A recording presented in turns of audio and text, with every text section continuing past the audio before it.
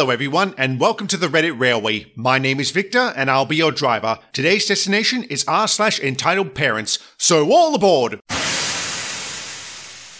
My parents sometimes ask me or my siblings to watch their house while they're gone because they don't want to leave the dogs alone for an extended period of time. They also live in a rather nice village, the kind that barely has any crime, where everyone knows everyone, etc. However, it does have one issue. There's a rather large town nearby that's notorious for scummy people. It's like a giant pimple in an otherwise pleasant area, and whenever people from that town manage to get a decent amount of money, they have a tendency to move to our village. As expected, they bring their attitude with them. That's where the entitled parents and the devil spawn of this story are from. So I'm sitting in the garden, minding my own business and the dogs, when I heard the sound of a soccer ball being kicked around in the carport area of my parents' house. They generally allow kids to use it when they're at work. At first, I didn't pay much attention until the ball came flying over the fence into the backyard. I only noticed when the dog started growling. This was followed by the loud crack of wood and a thump from something large falling down. That's when I saw the devil spawn. He had fallen down and the dogs were about to charge. I got hold of them and put them inside. Meanwhile, the kid is already in the yard grabbing his ball and sprinting back towards the broken fence. He attempts to climb back over, cracking another plank at the bottom in his escape attempt, but I walk over and grab him by the collar of his shirt. And where do you think you're going?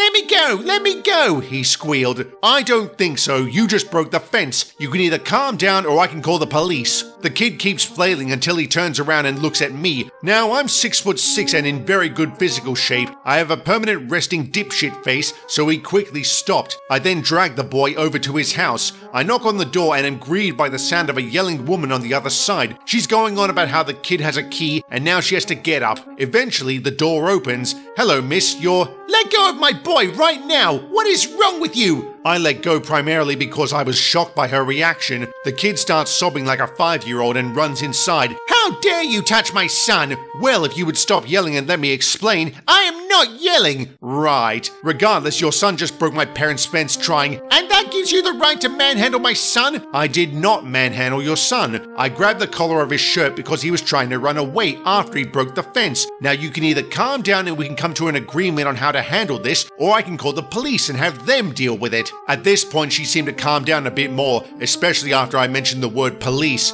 Right, so it's probably not that bad. She calls over her son, who had fixed his sadness by stuffing his face with candy. Say sorry to the neighbor. Sorry. And he bolts off again, not even giving me a chance to reply. Well, with that out the way, she attempts to close her door. I quickly shake off my shock and put my foot in the way. I then raise my voice substantially. Excuse me? Your son broke the fence. It's all fine and dandy he gave a half-assed apology on your orders, but he still broke a 200 euro wooden fence that will need to be replaced. My son said sorry, so that's the end of it. I should point out the neighbor on the other side had been outside the whole time. He dislikes these people a lot. He's had a lot of problems with them ever since they moved in. The entitled mother once again tries to close the door on me, but since I still have my foot in the way, all she can do is give my toes a thrashing. Look, this is the last time I. Then her diminutive husband appears, visibly upset and annoyed. He's maybe five foot five with noodle arms and a balding head that glistened in the sun. He looks up at his taller wife and asks, And what is the problem here? He's yelling at me and manhandled our son. I will get you, you asshole. The door swings open. As you might guess, I wasn't the least bit scared or intimidated by this quote unquote man. Look, dude, I didn't do jack shit to your son. The only one who has been yelling this entire time is your wife. Your son broke my parents' fence. You can either pay for the damages or we can get the police involved. You have no proof my son was responsible, so go fix it yourself, asshole. And if you ever.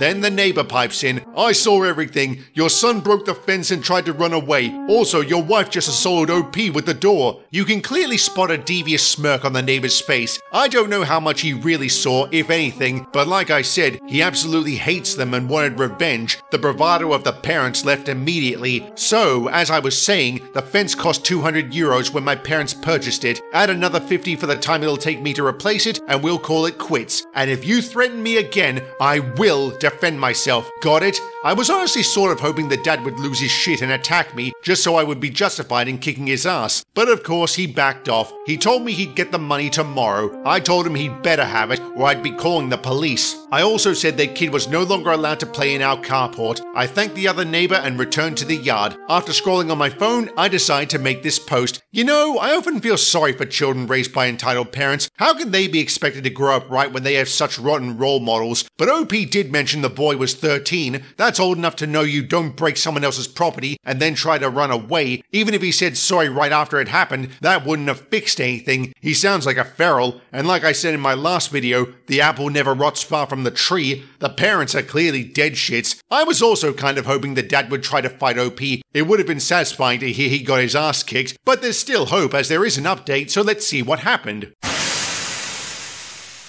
The day passed without any real excitement. My parents came home and it was nearing dinner time. I'd told them what happened over the phone. I showed them the fence and my dad was not happy. I explained to him they agreed to pay for the damages and he should expect them to be at the door anytime with 250 euros. This was honestly the only thing that stopped him from going over there himself and giving them a piece of his mind. At the last possible moment, right when I was about to call the police, Dumb and Dumber decided to show up. My dad opens the door with me right behind him. So, you finally decide to show up. Yeah, we're here to talk about what happened. How dare you think your son can talk to us like that? No, you are here to pay for the damages to my fence. Besides that, I want absolutely nothing to do with you people. Once again, her husband appeared from behind. And what is that supposed to mean? That I want you to pay for the damages your son did to my fence, and then I want to go back to not speaking to you.